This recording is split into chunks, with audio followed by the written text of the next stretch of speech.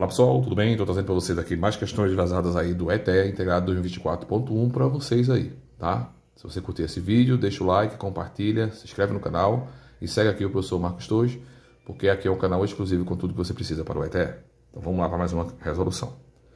Flávia está participando de uma seleção, cuja prova tem 20 questões. Então é o total de questões, tá? Vou até aqui, ó. Total 20 questões. Esse aqui tá horrível. Questões. Nesta prova, a cada questão certa, o candidato ganha 5 pontos. E a cada questão não respondida, no caso errada, perde quantos pontos? 3.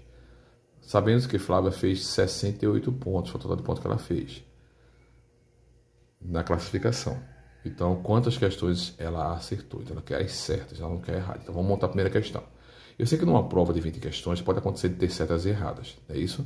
Então vou colocar assim: as questões certas mais as questões erradas dá um total de quantas? 20 questões. Está aqui já, é o total de 20 questões, não pode passar.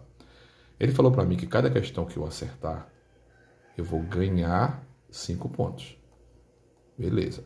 Mas as questões que ele errar, ele perde 3 pontos. Então ele vai perder 3 pontos. E no final vai ter quantos pontos? 68. Montei o meu sistema. O que ele quer na questão? Ele quer as certas. Então não vou mexer na certa, vou mexer na errada. Sempre naquela contrária, como eu fiz um vídeo para vocês aqui no canal. Então, tá vendo aqui que tá menos 3? Ele já está negativo. Então não precisa botar o negativo. Você vai fazer o quê? Pega esse 3 e coloca ele aqui em cima. E só multiplica. Certo? Que aí você já ganha tempo aí na resolução. Então, 3 vezes C 3C, 3 vezes E, 3E, e 3 vezes 20 vai dar 60. Embaixo só para repetir. 5C, 3E negativo e 68. E aqui eu vou fazer uma operação matemática normal. Aqui eu tenho 3 mais 5 vai dar 8C. Aqui eu tenho negativo positivo, corta. 68, aqui vai sobrar 8, 6 mais 6 vai dar 12, 128. Então, C vai ser 128 dividido por 8. Vamos dividir. 128 dividido por 8 vai dar 12 por 8 vai dar 1. 1 vezes 8, 8. Para 12 vai dar 4, desce 8. 48 dividido por 8 vai dar exatamente 6.